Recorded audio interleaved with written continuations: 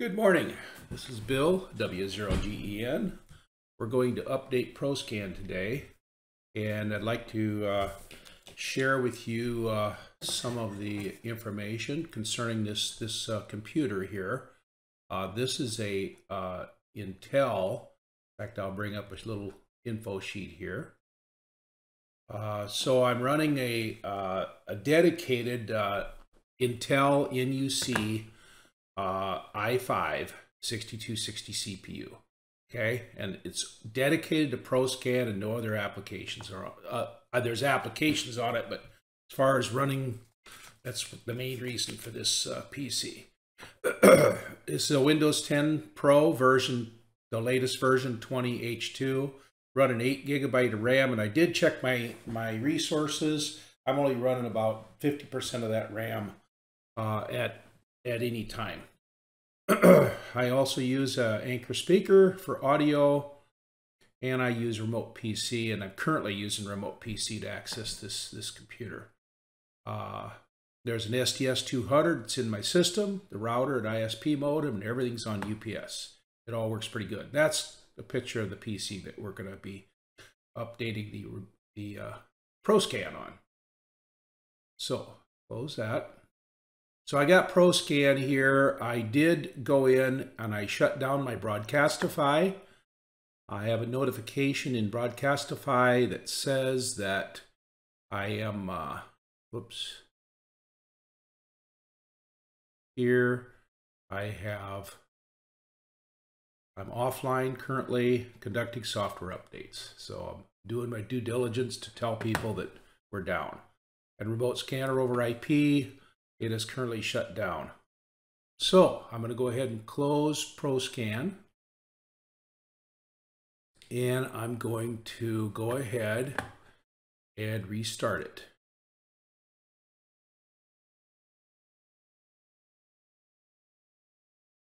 And I should get a request to update. There it is. So this is the newer version and I'm going to hit next. I'm going to go to versions.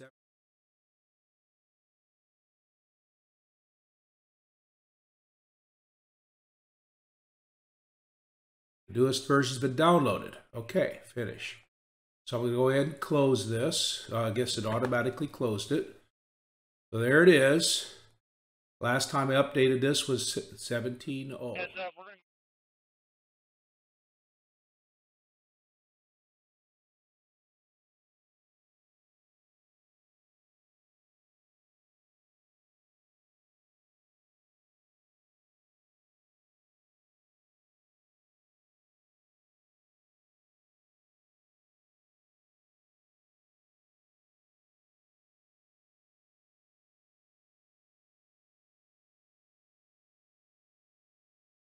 and there is the exe file. So I'm going to go ahead and I, I, like to run things as administrator, so I'm going to right click it, choose run as administrator. So we're going to update to version 17.2.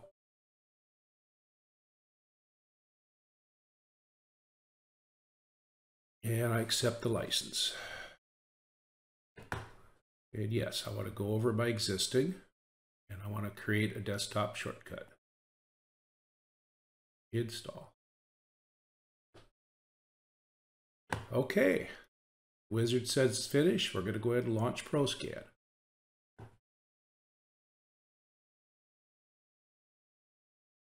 Shows 17.2.2.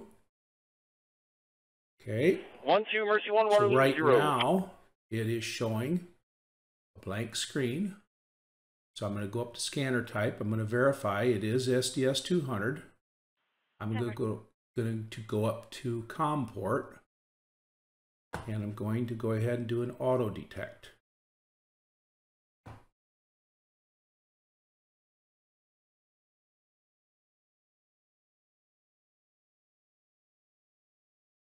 Oh, click URL setup. There we go. Now we're going to hit OK. I'm just going to hit reconnect.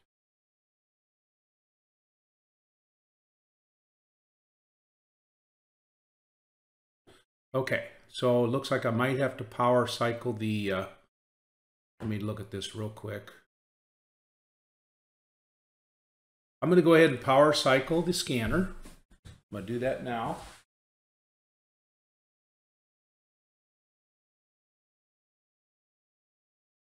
Okay, scanner starting back up. Okay, the scanner's online. Go ahead. 301 will be in service returning. Taylor.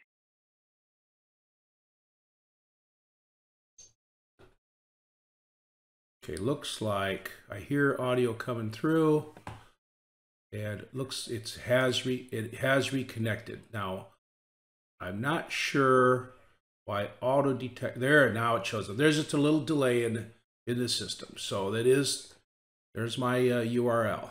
Okay, close. So I am connected, and I do hear audio. I'm going to mute it, and going to go into remote scanner over IP and start up my server. So I'm checking everything looks good. Password's already in there, so I'll leave that alone and hit start. There it is. Now I'm going to go to source client and this is my broadcastify. I'll click my auto reconnect back on and it's all set up. I'm going to hit connect. Connected to Broadcastify server. So far, so good. Okay. Now, what I'm going to do, I like to do this, uh, and this is kind of a bonus for people that have never done this, to remote restart, oops, uppercase, MSM. In under test and extras, I'm going to run the MSM command, which is going to reboot my scanner. I should have done that before I started back up on the server and, and everything and on Broadcastify, but my scanner is restarting now. And this is real important to me because my primary uh, home base is in Iowa, and this is my winter home is down in Texas, and this scanner is down in Hidalgo County, Texas. And that's where she, she resides. So here we go. We are now running. Uh, it's back online, and you can see I'm I'm on. Uh, turn it on here. I got audio. It's perfect. I'll mute the audio. I'm not sure how much is coming through this. Uh, let's check and make sure remote scanner is still on. It is. And source client is still on, and it is on. So I'm going to go check out my Broadcastify.